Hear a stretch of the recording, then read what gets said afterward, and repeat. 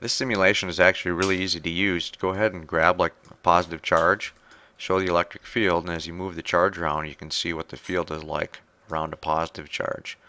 Um, you can go ahead and grab an electric field sensor and it kind of gives you an idea of the strength of the field at a location. Notice how it gets weaker farther away, stronger close in, and it shows you the direction of the electric field at any given point on here.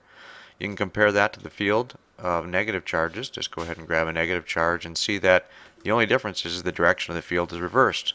Otherwise, the properties are still the same.